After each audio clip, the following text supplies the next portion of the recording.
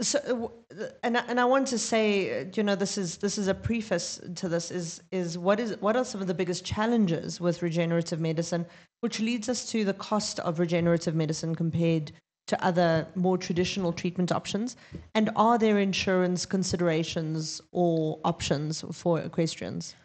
So I think what we see regenerative medicine at this stage on a per treatment basis often is more expensive than some of your traditional treatments.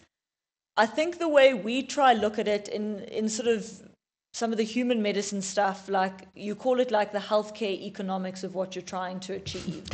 so, um, you know, one or two really effective regenerative medicine treatments that achieve the desired effect versus having to go back, get your vet out six extra times, retreating the same joint with cortisone, lost training times, the, the cost of replacing. Mm. The horses. cost of I think we've replacing a seen, horse. We've seen what it costs to We, replace we a all we all think like, oh, this is an expensive treatment, not as expensive as another Not show as jumper. expensive you know? as another show jumper, 100%. So I think if you look at the bigger picture, often in the long run, regenerative medicine treatments work out more cost effective and more effective. and more effective, absolutely.